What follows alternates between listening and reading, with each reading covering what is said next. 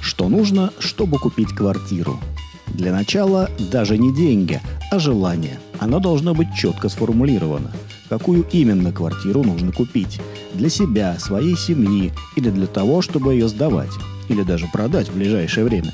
Каждый из этих случаев требует отдельного набора характеристик, хотя во многом они совпадают.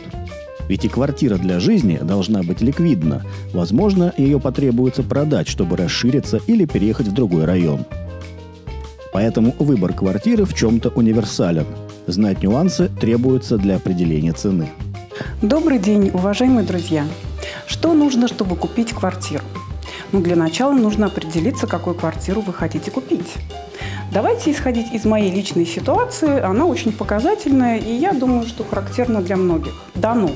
У меня есть трехкомнатная квартира в центре и сын, а, которому 30 лет, он программист. Нам нужно с ним разъехаться. То есть квартира трехкомнатная в центре продается, и нужно купить две отдельные квартиры для меня и для сына. Для себя квартиру я уже приобрела, и вы видели, как я ее принимала. Это апартаменты в жилом комплексе «Граф Орлов» на Московском проспекте. Объект очень удачный, удачное место расположения, очень качественная стройка. И э, главное, что апартаменты уже сданы, сейчас там э, идет ремонт, и я надеюсь вам показать его результат. Теперь нам нужно приобрести квартиру для молодого человека, для моего сына. Ему 30 лет, он, повторюсь, работает программистом в немецкой компании и очень хотел бы иметь отдельную э, квартиру на севере города. Итак. Технология выбора квартиры довольно проста. Сначала решаем, новостройка или вторичка. Выбираем новостройку, потому что на севере Петербурга вторичка в основном еще советская, что нас не устраивает. Не забудьте выставить закладку «Купить», иначе вам предложат съемные варианты. Далее определяемся с количеством комнат. Одному вполне подойдет студия или однокомнатная, тем более, что студии сейчас бывают довольно большие. Выбираем район. Данном случае важен север, но не все локации. Поэтому лучше ориентироваться на станции метро рядом. Или просто очертить, сейчас это возможно, искомую область на карте. В итоге в нее попадают жилой комплекс Лондон Парк, первая и вторая очереди, и жилой комплекс Поэт, Оба они расположены недалеко от метро. До проспекта Просвещения можно минут за 20 и дойти. До Гражданского проспекта минут за 15 доехать по выделенной трамвайной линии. Она соединяет обе станции, а находится прямо под окнами жилого комплекса Лондон Парк. Рядом обжитой район, в основном советской застройки. Тихий, спокойный, зеленый. Много магазинов, кафе, ресторанов, школы и детские учреждения, сады и парки. В жилом комплексе Лондон Парк прямо на территории физкультурно-оздоровительный комплекс с бассейнами, торгово-развлекательный комплекс и несколько паркингов. Оцениваем сроки сдачи. Первая очередь жилого комплекса Лондон Парк уже заселена. Но там остались квартиры, которые для нас слишком большие – Поэтому смотрим на вторую очередь и жилой комплекс «Поэт». Поэт более современный, он начал строиться летом 2019 года, но его сдача намечена на конец этого года, нам нужно раньше.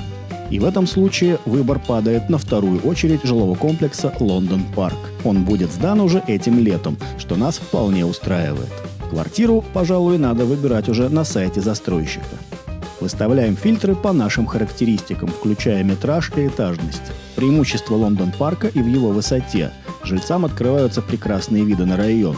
Особенно хорошо, когда окна выходят на Сосновку. Видно зеленое море тайги, самого крупного городского лесопарка. По фильтрам на сайте застройщика выпал 51 тип квартир. Большинство из них квадратные с большими лоджиями. Есть несколько иной планировки, где окна выходят на разные стороны. Это тоже интересно, но надо смотреть на месте. Выбираем несколько вариантов, определяемся с ценой и бронируем через сайт.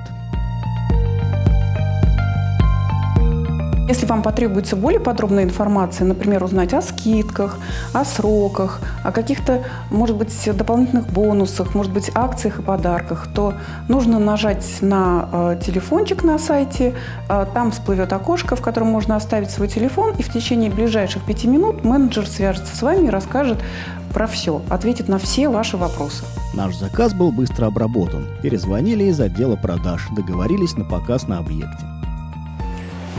Добрый день. Меня пригласили на просмотр квартиры. Менеджера зовут Максим Лиценберг. Можно его пригласить? Да, конечно. Здравствуйте, меня зовут Максим, я буду сопровождать вас на строительную площадку. Да, мы готовы. Все, пойдем. А, Это лифтовой холл нашей секции. Здесь три скоростных лифта «Отис», соответственно, два грузопассажирских и один пассажирский. А, Из лифтового холла мы попадаем в межквартирный коридор и обратите внимание, что здесь на этаже 6 квартир. То есть для трех лифтов 25 этажей, 6 квартир на этаже – это хорошая, ну, это приятная, комфортная нагрузка на лифты. Надежда, под ваши критерии мы подобрали несколько квартир. И я предлагаю рассмотреть дом, который выходит на улицу Руднева. Это малоэтажное строение, у которого первый и второй этаж занимает коммерческие помещения, техническое, технический этаж разделяет коммерческие жилые помещения. Соответственно, квартиры у нас начинаются с третьего по пятый этаж. И вход в жилую часть у нас будет со стороны двора, двор на Стирабате на уровне третьего этажа.